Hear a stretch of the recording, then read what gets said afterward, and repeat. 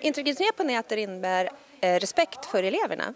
Det innebär att man respekterar elevernas önskemål men också att man som lärare, om man använder sig av internet i skolan, eh, lär dem vad integritet är och att man är noga med de frågorna i alla exempel som det kan dyka upp.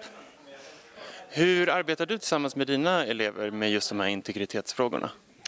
Ja, eftersom vi bloggar så kommer det hela tiden upp exempel på frågor eh, där mm, den här typen av frågor. Både när de skriver sina inlägg, där, man får där vi får diskutera då, är det här något som du vill dela med alla? Eh, också om hur mycket hjälp de vill ha med sina inlägg, hur mycket rättstavningshjälp och, och den typen av, av eh, frågor. Sen jobbar vi ju jättemycket med kommentarerna. Vi har jättemycket diskussioner. Vi tittar på kommentarer som kommer utifrån. Eh, ro, roliga kommentarer och konstiga kommentarer och varifrån de kommer och, och, varför de är som de är. Men kanske framförallt med deras egna, egna kommentarer. Vad det är som är okej, vad som är schysst.